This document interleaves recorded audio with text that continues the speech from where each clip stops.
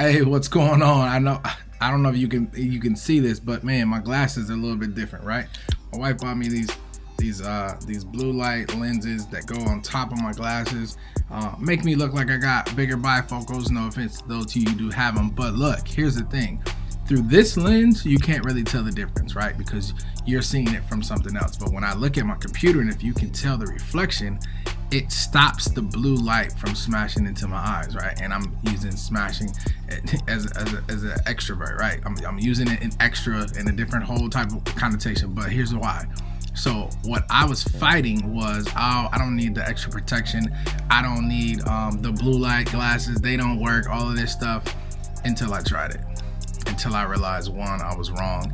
Two, they actually do work. Now here's the thing, there's certain things that you can't see because you are unwilling to try. You're unwilling to make the adjustments. You're unwilling to get out of your own mindset in your own mode in your own modules and try to figure out how to do something different, how to do something better. And listen, better doesn't always mean that you're to see the results right away. Listen, I promise.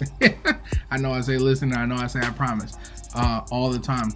But I promise you, I didn't think that they actually worked until I started paying attention. And I feel different.